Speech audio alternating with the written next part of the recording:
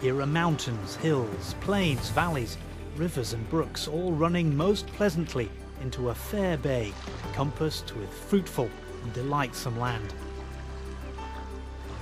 Captain John Smith, 1612.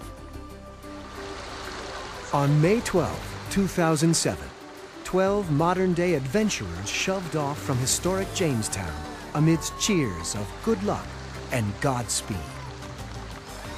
Their voyage is part of a 400th anniversary celebration of the founding of Jamestown, England's first successful settlement in the New World.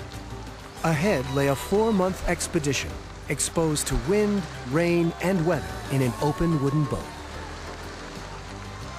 So who are we? Who are the 12 crazy people signed up to slowly chase history? We're a mesh of seven men and five women, each with a love for the outdoors. The crew follows on the trail of Captain John Smith as they explore 1,500 miles of Chesapeake Bay and its mightiest rivers in 121 days. It is the adventure of a lifetime, a story of discovery still unfolding.